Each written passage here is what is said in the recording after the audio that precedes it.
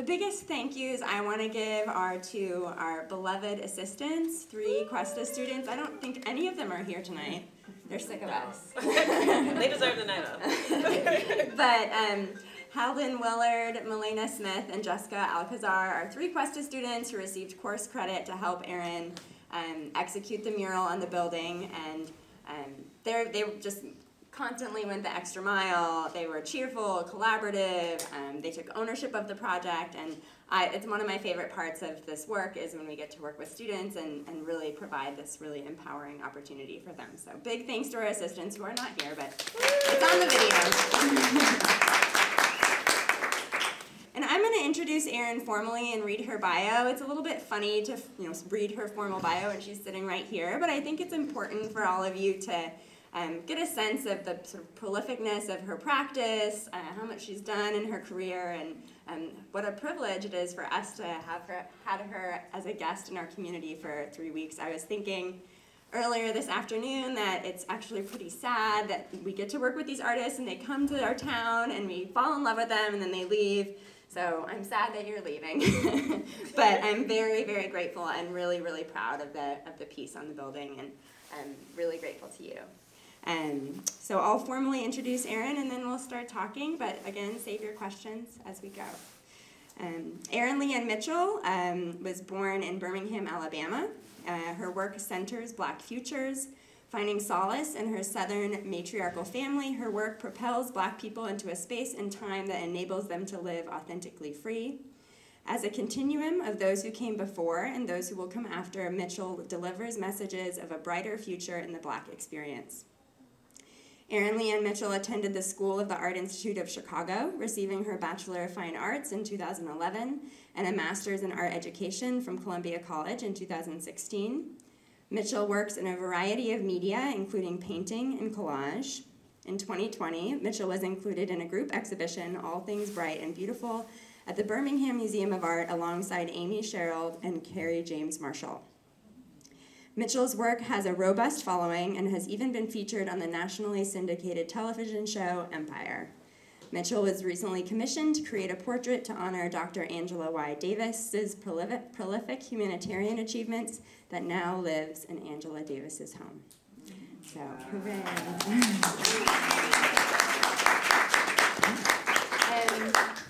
we thought we'd begin um, by, and let's see if this clicker works, yay, yay. by having Erin just chat a little bit about, um, about some of the artists who inspired, inspired the work.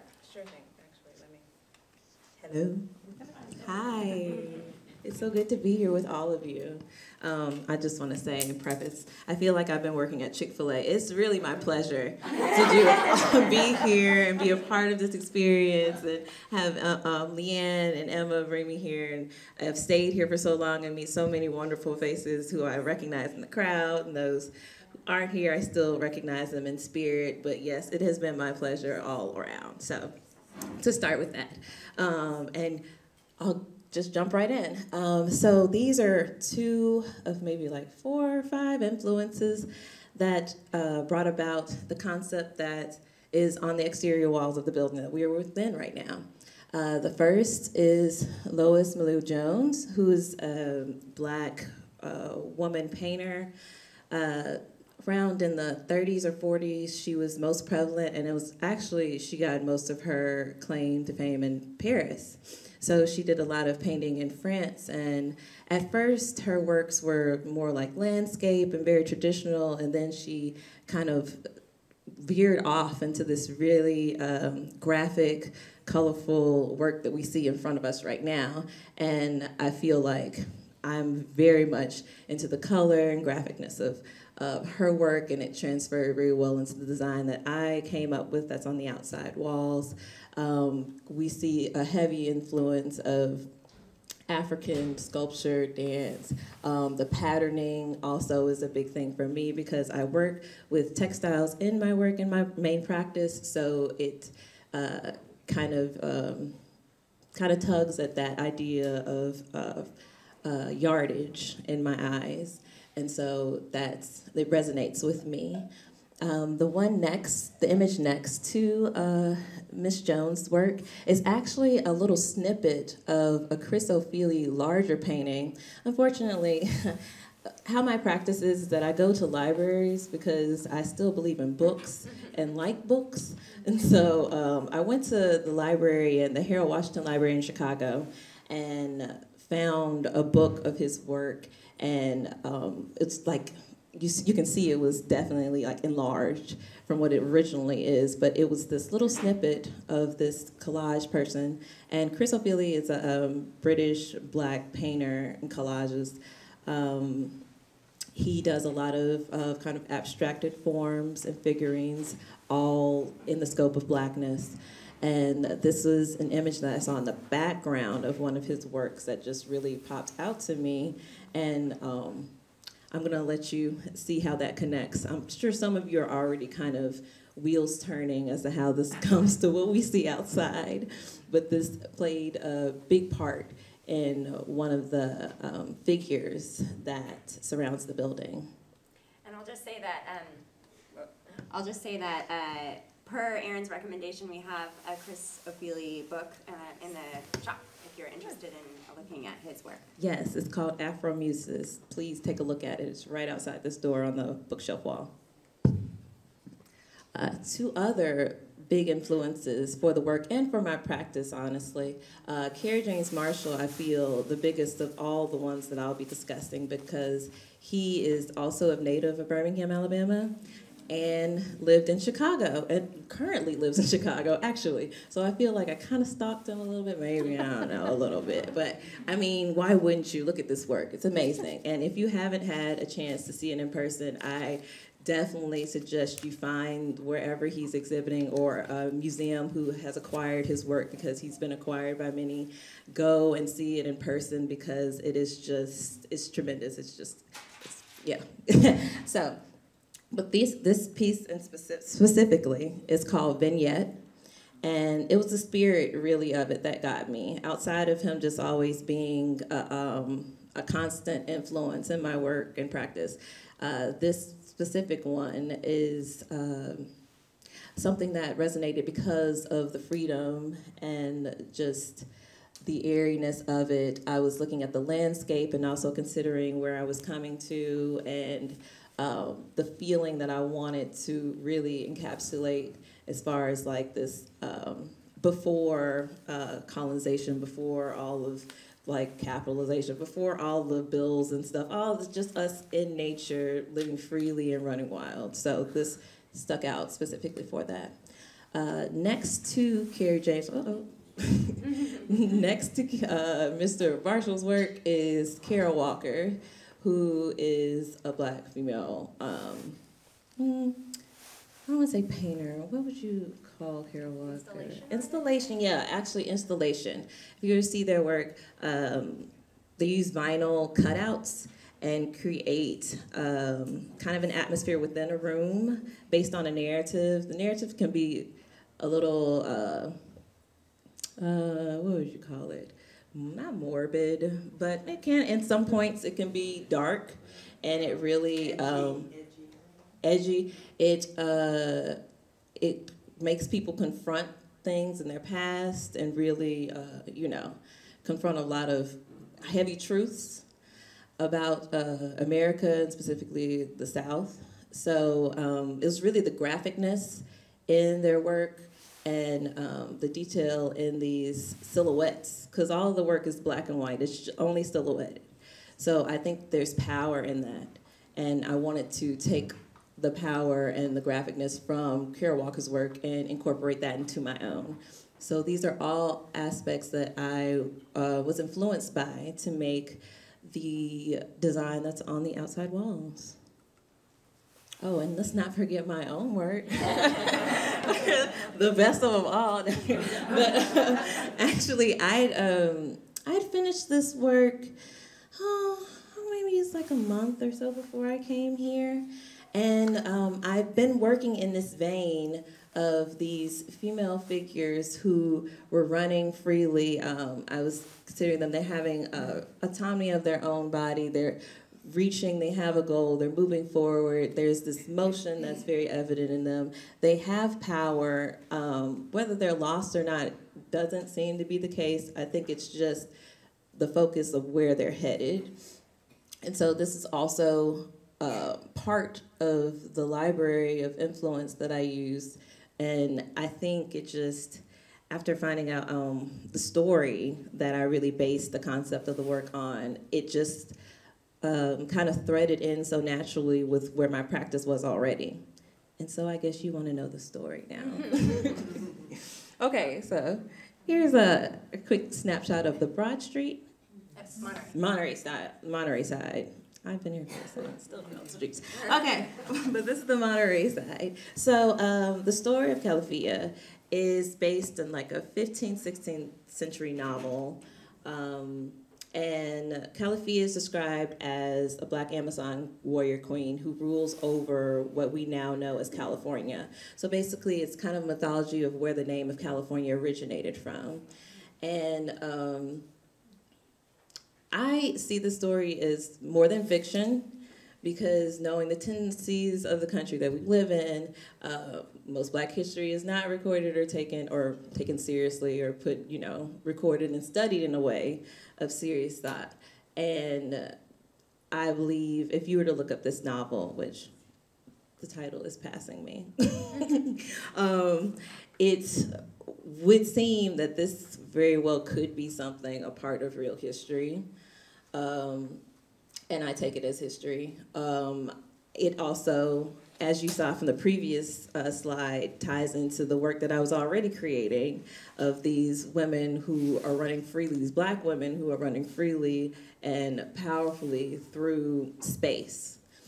And um, with that, just learning about the story, which uh, my friend who is here, I put them on blast, but uh, they really introduced the story to me, and um, it just kind of opened my eyes in ways. Because honestly, I'd not known of any Black history in the West outside of like the LA riots and things, and that's very much connected to the Black civil rights and where I'm from, and I know that by heart, but outside of that, I really had no registry of Black history, specifically in this region. And I wanted something that would connect to the area, but it was difficult to find here. And so I ended up having to think more broadly, just in the term of California altogether. And um, when my friend Tori um, brought this story to my attention, I was like, this is amazing. I did not know about this. And chances are everybody that I'm the place where I'm going to probably don't know about this either. And I'm just curious how many by show of hands knew about this. Just really curious.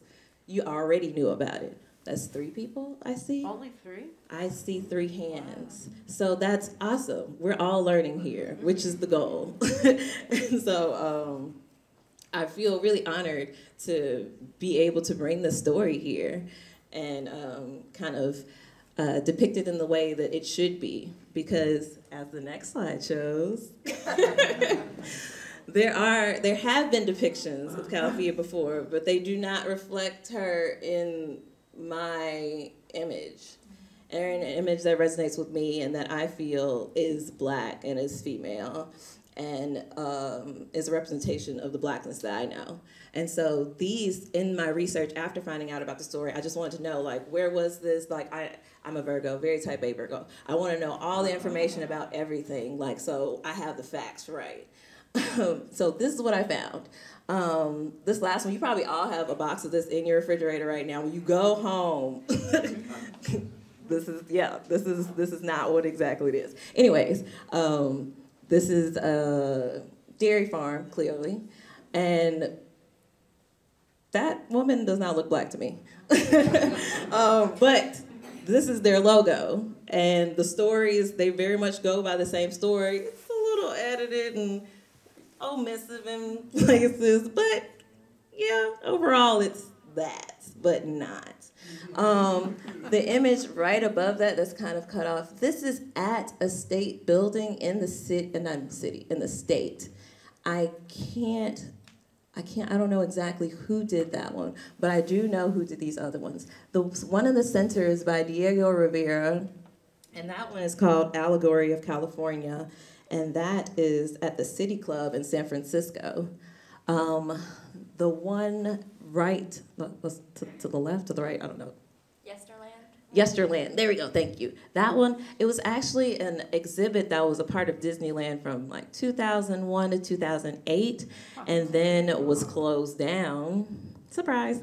Um, but I, the imagery of it, I was really drawn to because I mean, there was that's the actual reputation that I would like be drawn to, and it was narrated by Whoopi Goldberg too. So there, were- they had something going, but it wasn't enough to keep going, and we know why. But the one at the bottom, this is a mural that is still in existence. It's by Lucille Lloyd, and it is at the State Building. It's called California's Name. And in the center, I'm going to stand up really quickly just so I can point out. If I was a teacher, I'd do it. but this is uh, the representation of Calafia in the middle, and in my opinion, looks very Aztec. It does again does not look black. Looks more indigenous than black to me. And so, in sum, to say none of these look like black women. None of these give me what I feel um, closeness to. They are not the representation that I would imagine in the story that I was reading and kind of found out about. So I wanted it to not reflect any of this, basically. But um, what's the next slide? Oh, so here we are. Um, back to the mural that's right outside. So as you see, these kind of very hieroglyphic looking, um, very language like figures are from that Chris Ofili cutout. Um, I kind of built the body out a bit more, and I was, what really uh, attracted me to that figure were the legs and the feet more specifically because I'm thinking of this Amazon tribe who ran the land, who ruled this over this area, and I'm thinking feet and footprints and what we relate presence being and acknowledging the existence of presence somewhere. And I'm also thinking of um, the first footprints on the moon and like what do we describe as being first and you know the origin of that. So I want this to be a four-footed um, figure and I like the fact that it looks like it could be language. I like that it also looks like it could be um, a guardian or some type of protector of this building. And I saw it as kind of um, as a portal to take us back to the time of Calafia. And so um, the foliage that's on in the second image is just a reference to the land before it was basically kind of torn apart and where we are now. Um, also, just to kind of put you in the space of entering into another world, and this being uh, something that's kind of hidden, but also very much not because you can't deny these colors. Like they pop out, like you know, they catch your eye at any point. So you can't um, not pay attention to it. But to also reference the fact that it had been hidden, and this is a hidden history that needs to be revealed. This is another shot of that long wall. I think it's great to look at it again, just to um, connect it to my personal work that I had. Um, the painting was called "What You Don't Have in Your uh, Head, You Have to Have in Your Feet," and I thought at first this this motif was not even a part of the uh, design. But as soon as I got here, uh, just something in my spirit told me that it had to be a part of it. It told the story more thoroughly, and it really brought the sculptural aspect of the building and how the design works around the entire building together. So I thought it was important. These, uh, the running motif kind of sandwiches the building. If you take a look, it's definitely worth taking a full look around, circle around, because it all fits together as a puzzle. And this is on Friday. Yeah, I had that one. and um, this is probably one of my favorite walls because it connects both the that iconic imagery that's language like and the feet of the running women. Just to kind of connect both of those things as one. And even though it's just like a snippet of that leg, it follows you around to the wall that we just saw, which is the long motif of running woman, and this leads you on to what's in front of the building. Oh, progress shots. Oh, look, there are our lovely assistants, and you can see none of their faces. but this is Halden is closest to me, then Jessica and uh, Melena. Awesome, amazing painters who made this project that much easier. And there's me, spray painting. So I wanted to incorporate a lot of the techniques that I usually do in my canvas work, and spray paint is a heavy part of that, along with acrylic paint. Um, the repetition in uh, symbols pays tribute to textiles and the repeat patterning. And I find, like, this is my second mural, and I find that working as a muralist, because I basically am a muralist, um, and then working in my like at-home studio practice uh, challenges me in the best ways because at home I'm able to adhere all types of things to canvas, but I can't do the same with a building. So I have to think of ways to make a dynamic composition something that is uh, appealing but also strong in its simplicity because um, the canvas work that I do is uh, very heavily uh, ornate. Like you could spend, I, I'll say hours because I spend hours looking at it, but you can really fall into it. And that's something that's not really afforded with, you know, brick walls. So um, I like working in this way because it challenges different sides of my mind and uh, kind of forces me to really go back to the basics of composition and how to uh, work sculpturally. More, more More happy. progress, all happiness, you know. Fun times with the assistants.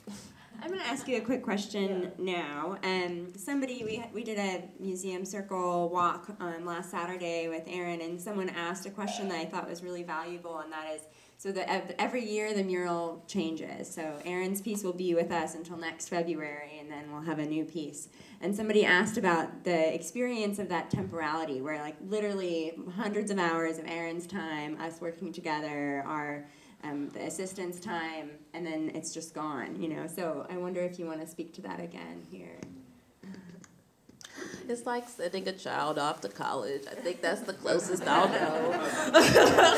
I don't have kids, by the way, but but it's that situation because I I deal with this when I sell paintings, and it's the same type of like it's a bittersweet situation because I'm glad that the painting sold, thank goodness, but also it's like I've spent months time hours days in and out looking and like dissecting and perfecting and at the end of the day, really what gets me is thinking of my retrospective. that I'm just like, they'll all come back together and they'll all be a big reunion and I'll see the length of my um, of my practice and just how I have um, I've grown and expanded in all of it. So I'm not gonna say it's not bittersweet. I can't say that it's not, but I think at the end of the day, it, it's for a reason and they'll all come back together and it'll be even better of a situation to see them all combined. And, and just so everybody knows, we're working on a we're working on a catalog um, for Erin's uh, mural as well as we did for the last mural. So um, she selected some really fabulous writers, a poet who's going to write more sort of prose reflection on Erin's practice, and there will be an interview and lots of imagery, images from the installation and final shots, and that we're hoping, knock on knees, will come out in uh, May. So I'm glad that that's uh, something that's offered because that helps the work live on. And it's a great coffee book, coffee table book, you know? You should get one. I think we just have another happy. Oh, it's us eating. We did eat. that was the most important part to eat.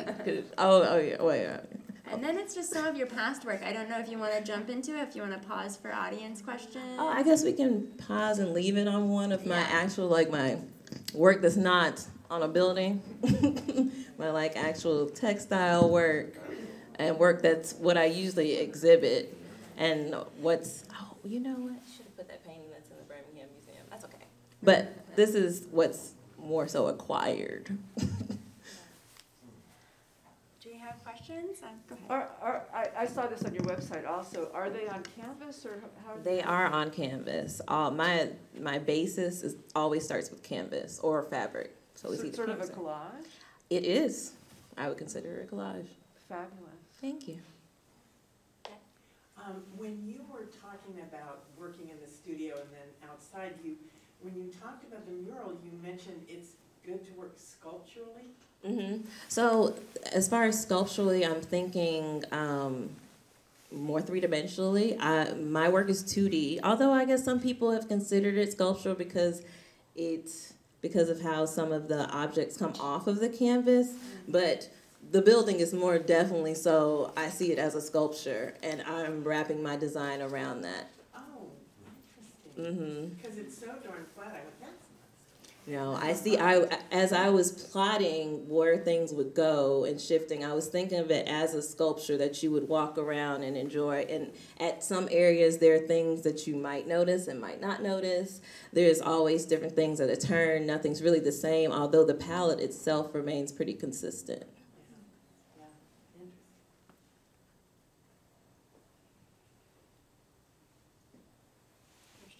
Any other questions? Oh, y'all are easy. Oh. So that piece on the left, one of the pieces that are not here, how does that tie into this work? Oh, thank you. Um, actually, that piece ties into this work very well. Um, so, this piece in particular is about um, missing black and trans women. And it was right before, like, tail end of 2019, and you know what happened after that. And um, I had noticed a lot of stories on my timeline of these missing black children, um, uh, violence against trans women and black women, and it just, of course, it struck me because uh, any of those stories could be me.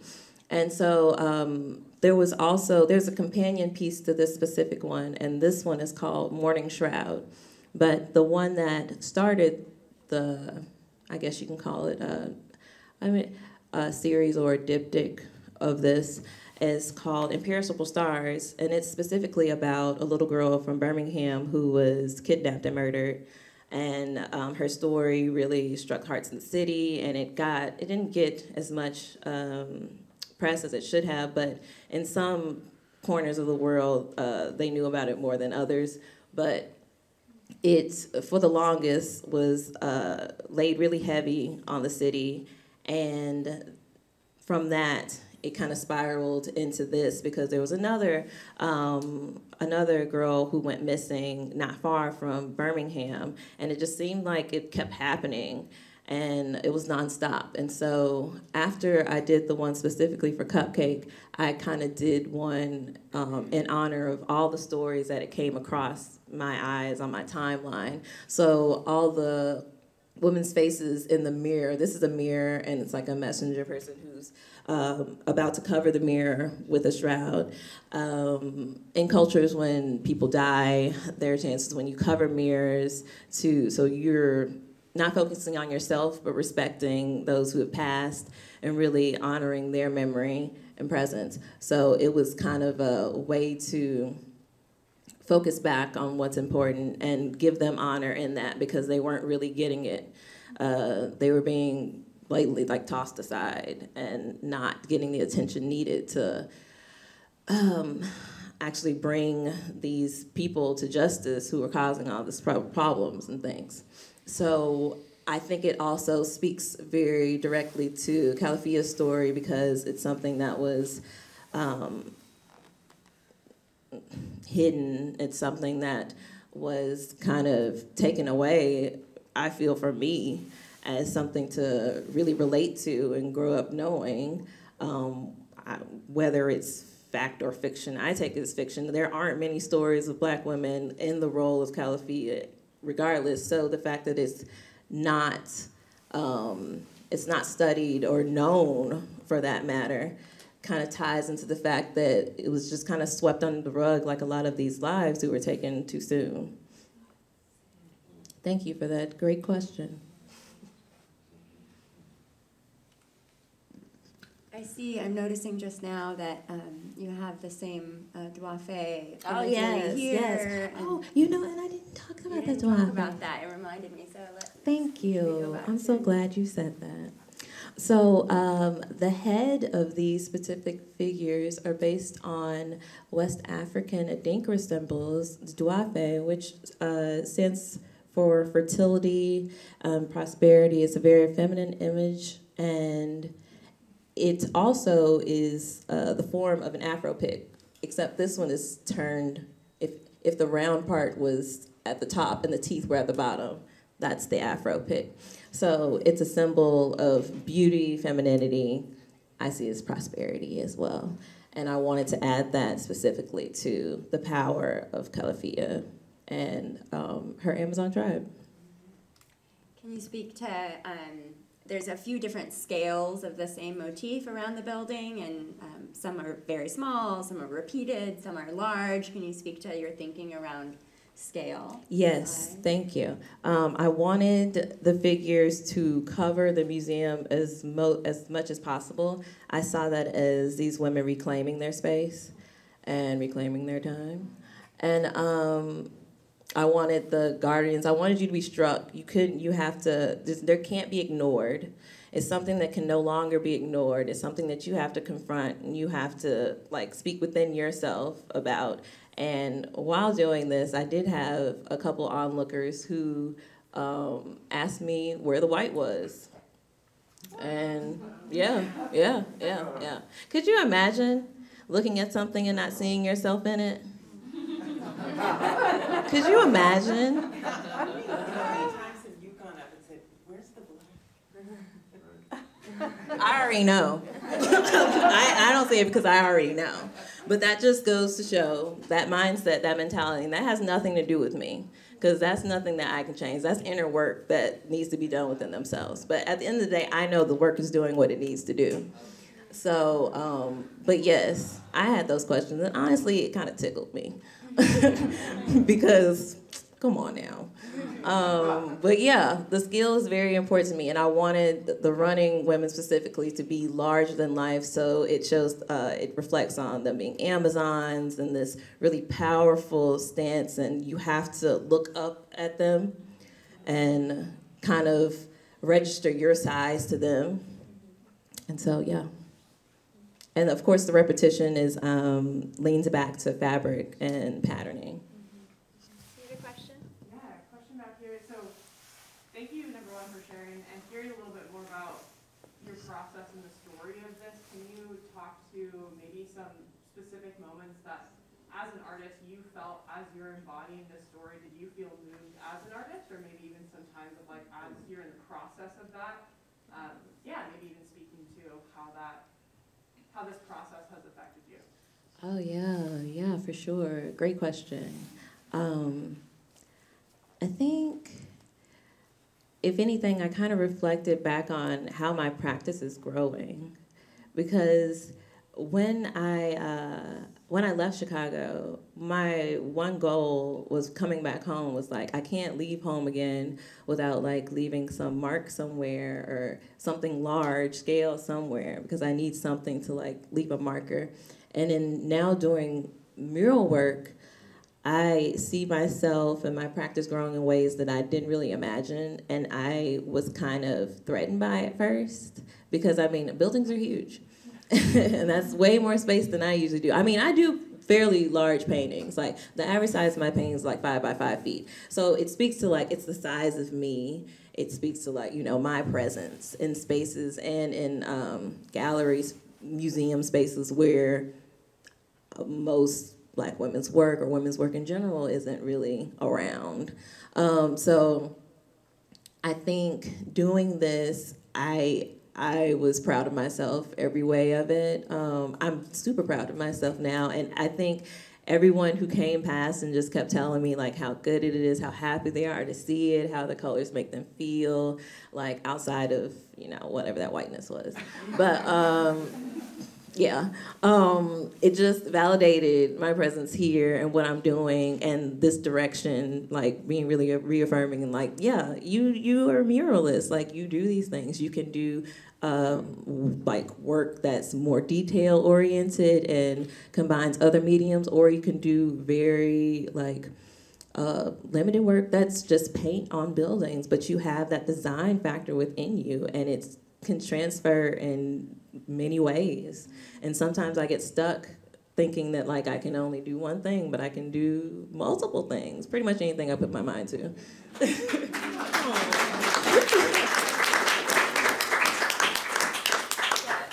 Um, did you, in, in process, did you change things? Oh, like the design? Yeah. Oh yeah. And you know, I asked Emma, I was like, should we show them what it was? but it doesn't matter. This is way better. This is so much better. But like, oh yeah, it definitely changed. it most definitely changed. Um, but Well, now I wanna see the. no, you don't. No, you don't. No, well, I, I'm gonna be honest. This image, this specific figure, did not change. That was something that maintained. Also, can we get a close up of that wall over there, like the super repeated one? Do we have a close up of that somewhere? Well, I don't think that was enough of it to see kind of in that corner though. That one did not change at all either. This wall was not gonna look like this. uh, the running woman wall did not exist at all when I first came. It did not exist at all. I, when I, as soon as I got here, I was like, "Yep, that's what I'm gonna do on that wall. I already see it." And so, and then it was. but very often things change kind of overnight. and Emma and like Leanne, and some others would show up and be like, "Oh, you changed it." I'm like, "Yeah, yeah." well, it was interesting. I mean, it was uh, speaking frankly as a curator and for us as museum, it, it really made me realize that we have to have our muralists come out for site visits because it's very hard. This is a pretty unique and funky building with a lot of different funky wall. It's not like four walls you're done, and so. Um, we tried to like send videos and like Oh yeah, I did this while I was in Alabama. and, Like all of this was done over the internet. yeah, like we had weekly zooms and tried to help her understand the scale and like the nuances of this building and um, and then she got here and was like, oh, like it was initially mostly this motif Yeah. and repeated in different ways on each wall. Um, and um, I don't want to speak for and you. And then I was but- like, that's boring. and so I was like, well, since I'm here and I know what's going on, I'm gonna change it. And so um, actually, that running, yeah, I showed you that running woman like very briefly, Yeah, but yeah. like she came back super fast. Clearly, she came running back to the present. So uh, and I'm so glad because like I, yeah, I wouldn't have been happy with the other one. Yeah, and I mean, it was um, the, all the all the mural projects and most all public art projects. Little known fact, um, in the city have to go through a juried process. So we have you know business owners and local residents who sit on those juries and um, and get to offer feedback or approval and. Um, and so we went back to the jury because it was such a significant departure from their original motif. We went back to the jury and re, you know, took a vote. You know, is everybody cool with this? And of course, everybody's cool with it. but um, So I. I think even that, the collaboration that was involved in um, in it, I think is interesting and important because I think everybody has a sort of sense of ownership of it. which I love. yeah. Um, do you want to talk a little bit about the floral, um, like the poppy? You already mentioned that. Right? Oh, I didn't mention the poppy. I mean, I thought of the poppy because, of course, that's like the state flower. So, I mean, and that's what the name is based on the origins. I didn't want to overdo it though because I feel like it's its own very special moment. So when you see it, it's just kind of like a, okay. And it's orange, which is the most different color of like the three or four main colors you see everywhere. So it pops out the most. Um, I had a, a lot of fun with this. Uh, and I planted a couple of Easter eggs around the building. So if you just see something, you're like, ah. yeah.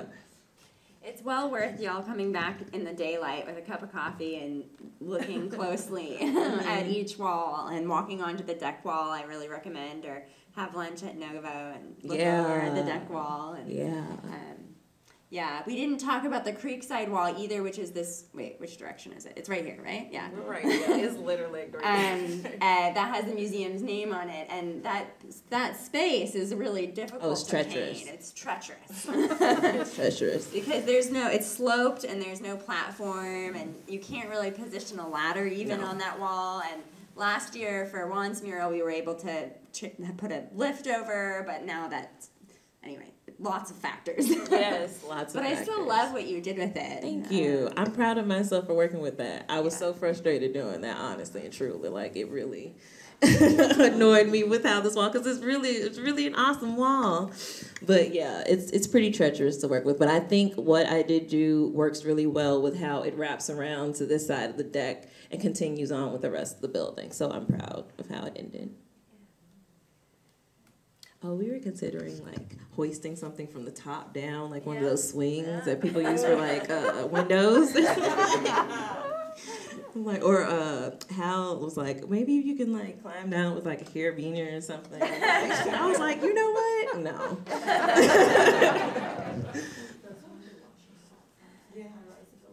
do we have any other questions go ahead Yeah, I'm curious about the use of color in your work to evoke blackness. I see you, you use lots of blues and purples.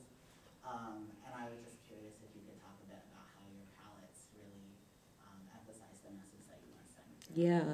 Um, I feel like secondary colors for some reason just give me blackness. Maybe it's because like there's a combination of things. It's not just a kind of a primary color. There's something that composes both of them, and it's uh, a shade of cool. Um, I like blue and black. I feel like they're synonymous with each other. Um, and honestly, my like color palette is just intuitive. Like I just have good color theory. Like I just these colors stuck out to me the most. Outside of the, uh, I knew the blue and black was going to be there for sure, but everything else just kind of filled in with kind of the vibe and the mood that I was going for. I knew green had to be a part of it so I could kind of speak more florally and stuff, but I didn't want it to be very traditional. I wanted it to be something that was, um, I don't know, just not your average, but still very striking and something that you couldn't take your eyes off of. Like, I don't know if you wanted to eat it or if you just want, it made you happy or what was it exactly, but it just, it's something you can't ignore. Definitely. go ahead you had a question I believe you said this was the second mural you did on a building. Uh, where was the first? The first one's in Birmingham, Alabama, and the first one, not that it's bad, but I just didn't. It's not bad because I made it, but but it just um, I wasn't given the creative license that I was for this specific mural, and I think of all things that meant the most to me because I was able to do what I wanted to, and in a lot of cases, artists don't get that. Like people are kind of guiding them in ways or telling them certain things that need to be incorporated, and it's kind of um, especially for like public works too, because you know everyone has to be super sensitive.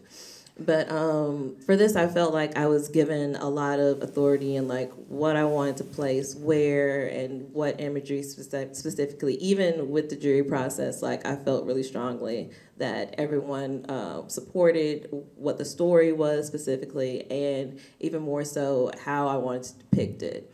So I think the energy was good, and they understood, you know, this is something that's needed and that people would appreciate. And I think it's been very appreciated.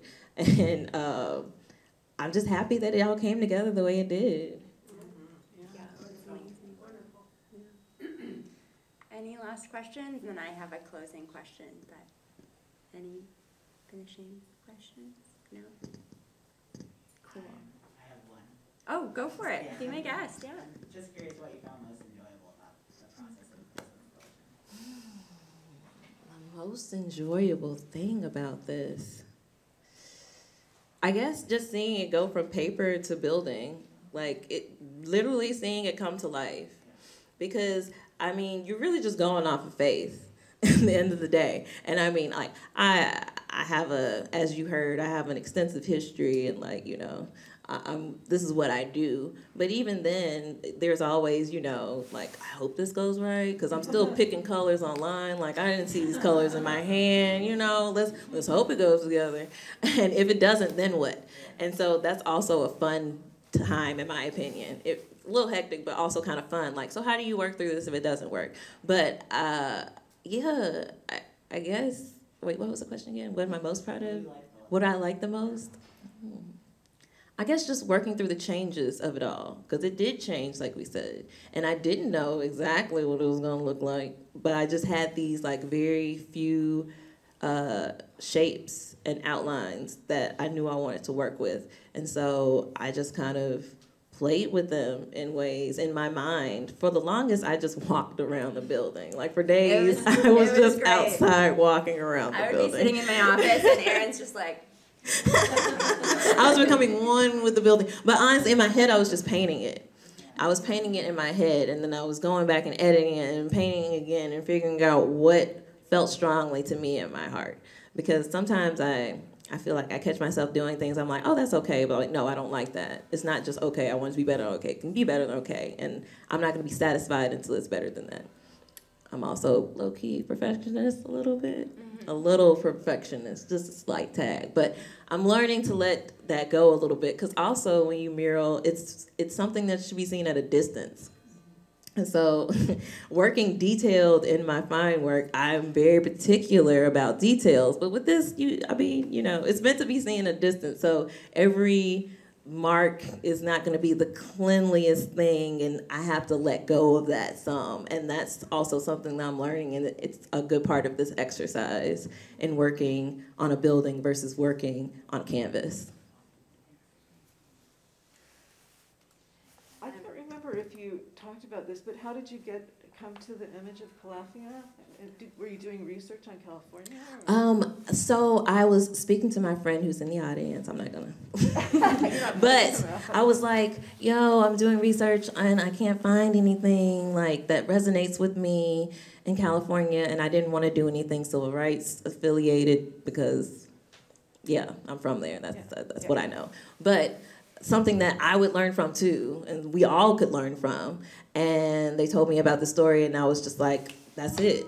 like it fits so well and i was already making work that was about strong women moving through space um, uninhibited and all these things. So it just fit so perfectly. Yes this piece. This was done before i knew about calafia and all of that and it just tied in so well and i was just like it, it's kismet it was just meant to be like that actually, Kismet is the name of the green. no it's the purple. Oh, it's purple is called kismet. Sherwin-Williams gets very creative with their, their paint and well it was meant to be. You know, And- I just have one comment, um, that without even knowing the story of Calafia, which I just learned about, um, when I saw that mural, I thought it was so perfect for the time. That COVID is ending and it's just, this freedom is so obvious in it, you know. It's like- wanted. It's like we're, we're begging for it. We really need, yeah. No, you're so right. I like that. that. That's a great observation. Erin, as we close, do you want to share what you're doing next? So you're leaving here, you're going back home for a few days, and then Quick pit stop. and then I'll be uh, headed to France for an artist residency. Yeah. Fancy. Um, so I'm super uber excited. This is like the perfect send off and like such a great way to start the year. And I already feel like a thousand times accomplished. yeah, and in in France, um, Erin will be working on all sorts of things, but she'll also be working on a print that we'll carry here that um, uh, is inspired or reflective of the mural, um, similar to the way that Juan did. So. Um, lots of fun merch coming your way in the next few months. Oh, and one more thing. I also will be a part of an exhibition, the Alabama Triennial, that'll be happening in June, actually. So I'll have some work being shown there. So it'll be me and maybe a group of 10 to 13 artists, uh, specifically from the Southeast, Alabama, even more specifically, and we'll all be showing work. You can follow Erin's practice on our Instagram, Erin LeAnn Works. I think it's it's going to be on the mural signage, but it's um, Follow me. I'm On the lots of fun. the museum page and on our website. Um, but I just think we should all give Erin a very hearty and welcoming.